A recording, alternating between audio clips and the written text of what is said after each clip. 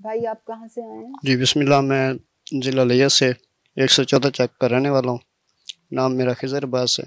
एहसास प्रोग्राम की तरफ़ से मैं शुक्रगुजार हूँ। जी, मेरी वालदा साहबा को एहसास प्रोग्राम के पैसे मिलते थे।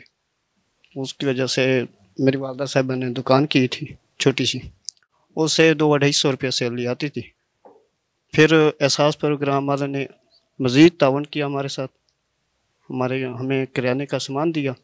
जिसकी वजह से अब हमारी सैलरी जो है चार पाँच सौ हो जाती है। हम शुक्रगुजार हैं एहसास प्रोग्राम का, जो उसने हमें सपोर्ट की। अब हमारी गुर्बत जो है कम हो रही है। तो लैया में जो जैसे आपने सवाल किया था ना आमदन प्रोग्राम का तो तेईस जिलों में एक लैया भी है। तो गालिबा इनको दुकान का सामान एहसास आमदन से मिला होगा।